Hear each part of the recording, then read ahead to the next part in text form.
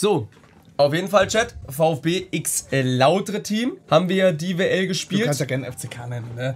Hier werden wir nicht zensiert. Okay. Das Spiel will uns zensieren, Ja. aber hier sind wir frei, Zimbo. F- Nenn, nennen sie FCK, komm. Obwohl vom FCK eine aktive Person nur drin war, Ja. muss man sagen. Der andere Kollege ist so ein bisschen reingerutscht. Ähm, ich muss sagen, wir haben elf Siege geholt mit dem Team. Sage ich euch ganz ehrlich. Wir hatten schon Spiele oder WLs mit tausendmal besseren Teams, wo am Ende dann nur elf Siege dabei rumkamen. Komischerweise, wie das so bei FIFA ist, sind hier Karten drin, da kommen wir aber gleich dazu, die ein viel schlechteres Rating haben, sich aber tausendmal besser spielen. Und das finde ich dieses Jahr sau extrem. Ja, wie teilweise irgendwelche Pay-to-Win-Karten, die so teuer sind, die so geile Stats haben, aber die sich halt niemals so geil spielen. Ich würde sagen, wir fangen hinten mal beim Tor an und da muss ich schon sagen, eine 87 hat er gute Trab, aber enttäuschend, sage ich euch. Finde ich persönlich einer der schwächeren Torhüter. Ja, ich sag dir ganz ehrlich, wir haben den reingestellt, weil wir dachten, boah, VfB hat nur eine Nübel, FCK hat jetzt auch nichts. Also Nübel geiler Typ, aber der hat halt keine geile Karte in dem Spiel. Wir dachten, ey komm, Trapp war ja mal eine Gerade FCK. jetzt auch keine gute Alternative Ja. gewesen, ne? Eine Bronzekarte.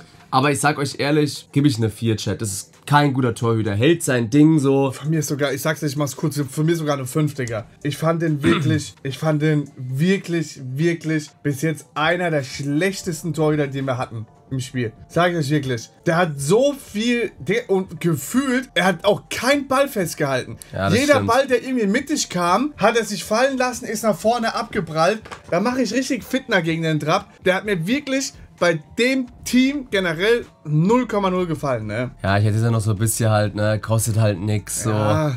Weiß nicht, ja, aber war, war nichts Gutes. Dann Außenverteidiger, der gute Kollege hier steckt noch in der Evo. Ähm, haben wir Mittelstädt, wir haben aber unsere Evo genommen. Viele haben gesagt, ey, nimm doch die Informkarte. Unsere Evo sah ein bisschen besser aus, auch mit dem äh, Playstyle Plus. Ich muss sagen, Chat, für eine, für eine 84er Karte mit den Stats, ich hätte wirklich gedacht, das spielt sich viel, viel schlimmer. Klar, du hast gemerkt, wenn da welche kamen mit dieser Athena, wenn da welche kamen mit der Graham und was weiß ich, da hatte der Mann Probleme. Hat er gekämpft. Ja. Hat er gekämpft. Aber Aber- er hat gekämpft wie ein Ehrenmann, ne? Aber der Typ hat halt eine 84. So, ich sag ganz ehrlich, dem gebe ich eine 2. Der hat sein Ding gemacht da außer so. Das ist für, für das, ich meine, man erwartet da ja auch nicht dann, ne, so, und er hat, hat seinen Job gemacht. ich sag nicht, wo man erwartet, sondern der hat seinen Job halt Ja. wirklich gemacht. Ne? Also man hat schon gemerkt, dass er halt manchmal einfach an seine Grenze kommt, deswegen Ja. ist er auch kein Einzelkandidat. Aber ich meine, Tempo 90, Def 80, Füße 76, hoch, hoch. Ich gebe dem auch wirklich eine ne sehr, sehr solide 2, weil er wirklich, der war am Zahn der Zeit, der Mann. Der war Plus- am Zahn der Zeit. Was auch da komisch ist, teilweise, ich spiele ja sehr viel Seitenwechsel. Klar, der hat harter Pass, aber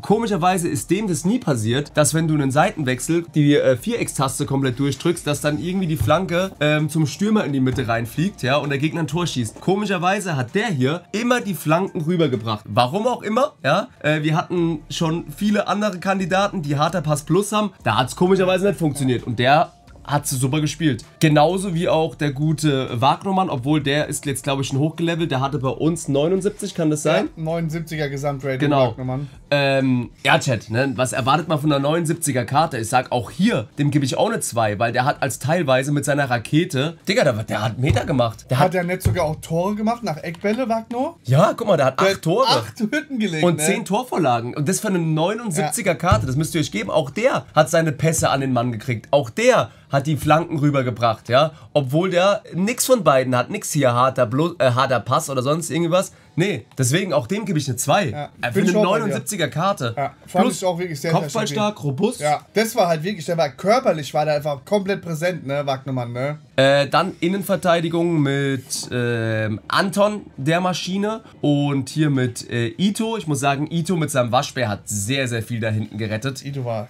top. Also, ähm, da sage ich ganz ehrlich, Chat, ja, okay, eins ist ein Van Dijk, aber man muss halt immer gucken, so, ne, im Verhältnis. Ich gebe dem aber auch eine 2. Ja, eigentlich musst du dem dann vom Verhältnis eine 1 geben, weil der, der war krass, Chat, der war einfach krass. So, da hat er hinten alles wegverteidigt, ja, oder 1 minus kriegt er dann halt 2 plus. Aber Digga, das ist eine 87er Karte. Der war schnell, der war zweikampfstark. Mit seinem Waschbär hat er immer gut gestanden. Da gibt's gar nichts. Ihm sind keine Bälle weggesprungen, so. Das war top. Der war wirklich, also ich meine, jeder, der die WL verfolgt hat, bei uns, Ito war krass. Ich gebe dem auch eine 1 minus, ne? Weil, wie du sagst, ne, Ja. so, wo, ein Van Dijk musst du dann über eine 1 geben, quasi, ne? So, ich meine natürlich, wenn du jetzt Ito mit Van Dijk ver vergleichst, aber in dieser WL, in den Umständen mit dem Team, war Ito eine 1. Ich sage auch hier, auch mit, mit Anton, ne, klar, du hast natürlich gemerkt, wenn jetzt Gegner kamen, die so einen Messi hatten oder einen Martinelli, die haben viel mit R1 gemacht, dann Ja. sind die an ihre Grenzen gekommen. Auch natürlich ein Anton mit seiner 78 Tempo, ne, muss man ganz klar sagen, Balance 70, da ist nicht viel da, muss man klar sagen. Aber wenn ich jetzt wieder die IV vergleiche mit dem Team von letzter Woche, sage ich dir ganz ehrlich, haben mir die hier drin fast besser gefallen. So, ich sag dir so ein Anton, klar, ne, also,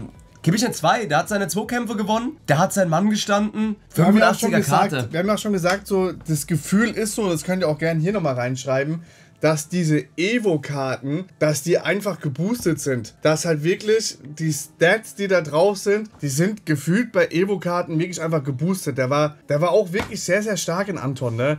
Klar, irgendwann kommt er an die Grenzen ne, mit dem R1-Spammer, aber ich finde, die sind wirklich einfach geboostet, Digga. Eine 85er Karte, guck dir die Stats an. Du würdest kein Eventspieler so spielen. Nein, ne? der, der hat 64 Antritt. Also klar, kriegt er mit seinem Playstyle ein bisschen was Der drauf. war, der war stark. Der war wirklich, Stark. der war stark. Kriegt eine 2. Ähm, genau, Jungs. Dann haben wir auf dem äh, defensiven Mittelfeld, wir haben ja 4-4-2 gespielt. Ähm, da stand einmal Ballack und der gute Marlon Ritter. Ich hätte wirklich gedacht, Chat, 84er Karte, das gibt eine Vollkatastrophe. Ja. sage ich euch, es gibt eine Vollkatastrophe. Ey, komm, wir stellen noch einen Ballack rein, der alte lautere Legende.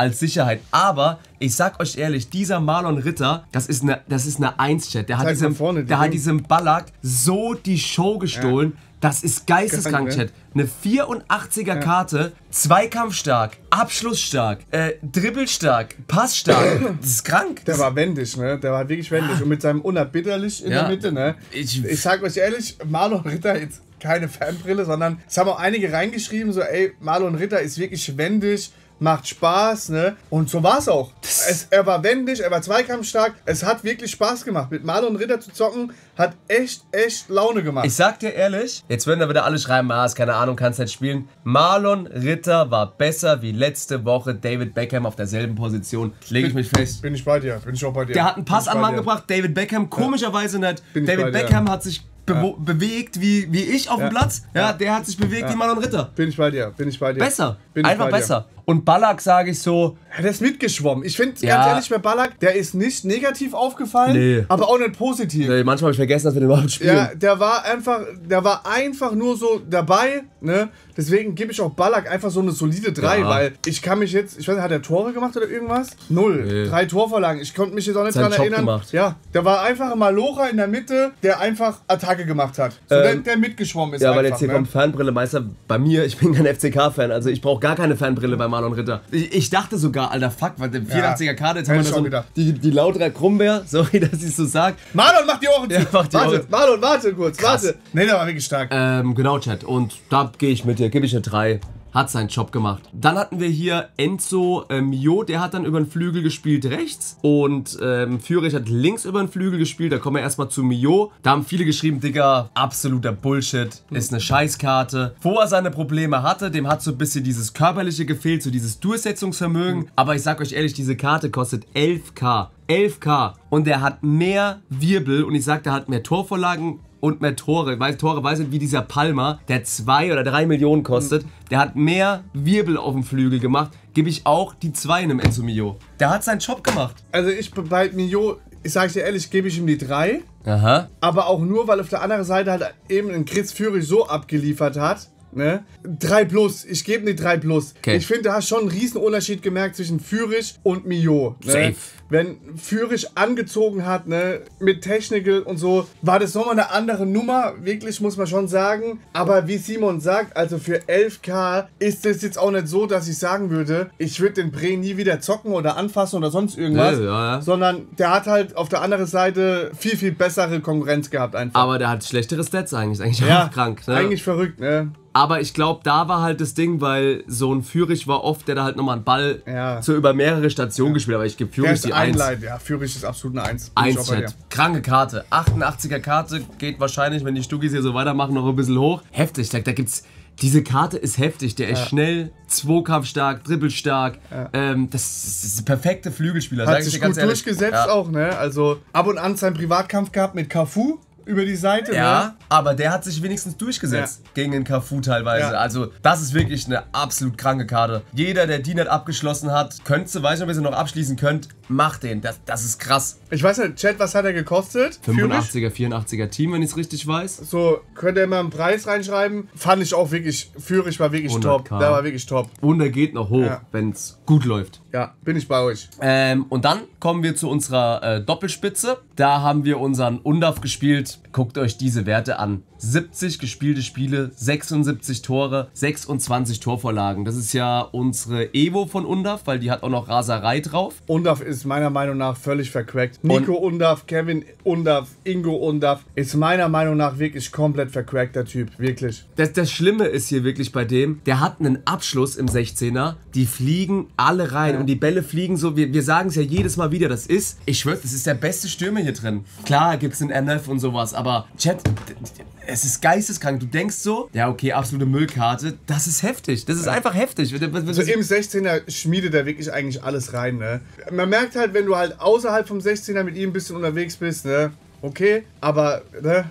Ah, Aber im 16er, Digga, da fließt Eis durch die Venen bei dem, ne? eins. Der ist wirklich, der schweißt alles rein. Das ist krank. Das ist wirklich krank. Und ich muss auch sagen, hier, guck mal, Serugi Rasi, Freunde, wir hatten den ja schon mal gespielt, da hat er uns nicht gefallen. Wir haben jetzt ja einen, Ja, was für eine hatten? Welcher Girassi war das? die Evo davor dann. Wir haben den ja dann nochmal in die Evo reingemacht, den POTM haben wir dann in die Evo rein, der andere war... Aber hatten wir, wir hatten einer ähm, noch nicht auf Evo gezockt. doch, wir hatten, der Das war... war doch diese Special-Karte von dem, oder? Nee, der war auch, glaube ich, in der Evo. Haben wir den noch? Müssten wir, glaube ich, noch haben. Guck mal. Aber auf jeden Fall war der Girassi zehnmal besser, ja, ja, ne? Das war hier, genau, das war der hier, ne? ah, ja, Ja. genau, genau, genau. Der war gar nichts. Also da musst du ja damals Ja. auch leider sagen, weil dann immer viele sagen Fernbrille, der, Das der war ein Tank. Katastrophe. Der, der hat nichts gebracht, ne? Aber das hier, Chat, also auch mit Raserei und diesem äh, Magneter vorne drin, äh, Lanxy, absolutes Biest, sage ich euch, ja. War auch stark. Ich meine, man sieht es ja auch, ne? Wenn man sich Ja. Statistik anguckt von dem, ist ja auch wirklich top, ne? 36 Spiele, 29 Marke Netz, 15 Vorlagen. Dem gebe ich die 2 plus, weil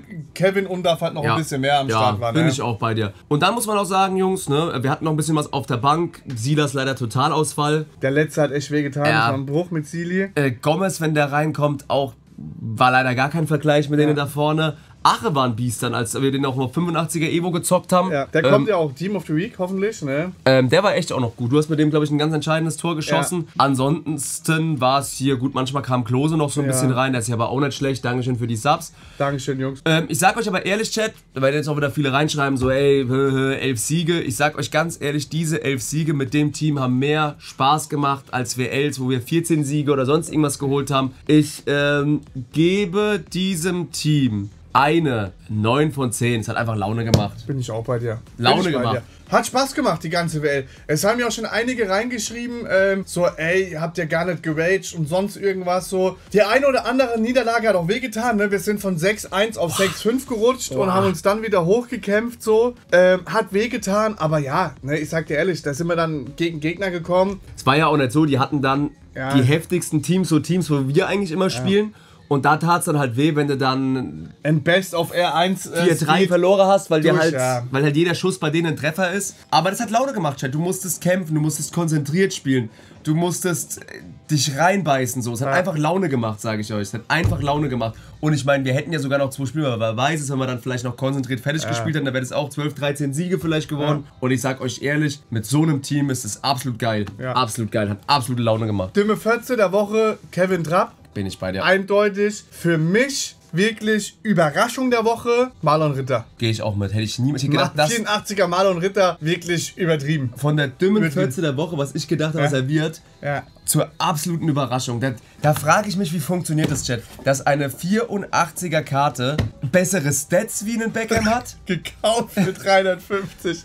Guckt euch das an. Bei dem VfR Zimbus Verein für Es- Reiche steht ja. oben im Eck gekauft für 350, Es ist, Digga. ja, das ist krank. Ist das krank. Und da sieht man wirklich mal, was eigentlich wirklich, was, auch wenn man ja EA oft, ne, wirklich wegflamed und hatet und sonst irgendwas, wie geil aber eigentlich diese neue Evo-Geschichte eigentlich wirklich ist. Das muss man ja, bei allem Negativen, was man immer sagt, muss man schon sagen, mit der Evo-Geschichte, das ist ein W, was EA da gemacht hat, Safe. dass du so Karten wie dann halt jetzt Marlon Ritter da einfach zocken kannst, ne? Das ist halt saugeil. Ich sag mal, okay, ein paar Muss gute Stuttgart-Karten hätte man, aber man hätte Ja. auch teilweise, die da vorne hätten wir auch nicht, ja. Nee. Wenn man mal ehrlich ist, wir hätten die hier alle nicht, ja. Ja. So, also das ist wirklich sehr, sehr geil.